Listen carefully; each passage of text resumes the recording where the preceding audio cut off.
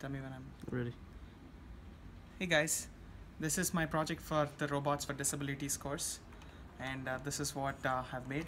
This is a smart cane and unlike other smart canes, um, this is not used as uh, assistance for um, blind people. This is however used for used to assist all people.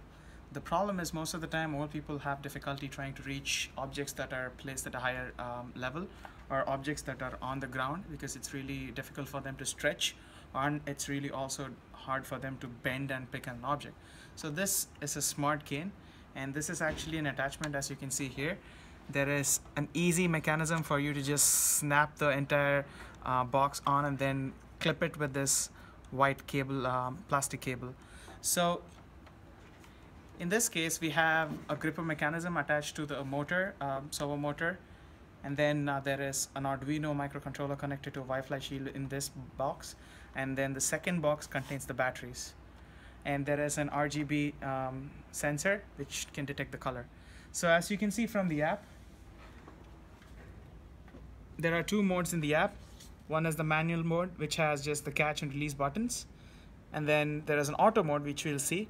In the in the in the primary uh, example we just connected already, this connects the iPad connects to the device via Wi-Fi, and it's already connected. And as you can see, when I press the catch button, it grip the gripper closes, and when I press release, it opens. Now, in auto mode, we have four options. We have sugar, salt, coffee, and tea. Each item is associated with a color, and we are required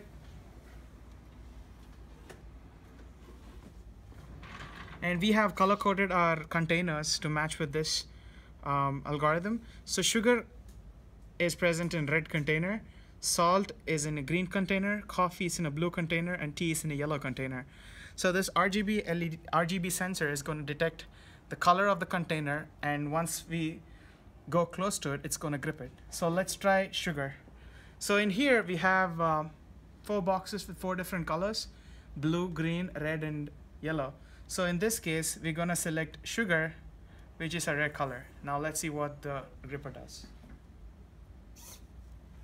So automatically gripped it, and it's gonna hold on to it till you just pull it away from it. Now, let's try getting some coffee, which is the green container. It's not gonna detect any other container because, oh shit.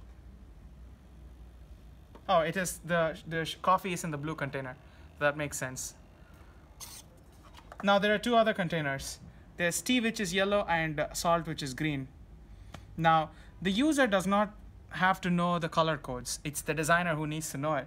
So when I say salt, it's only gonna pick up, salt is in a green container. So if I go to yellow, it's not gonna detect it. It's not gonna detect it. But when I go to green, it detects it.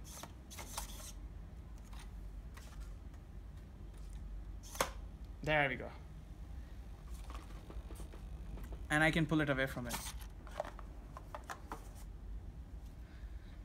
And we'll just finish off with tea, which is the yellow.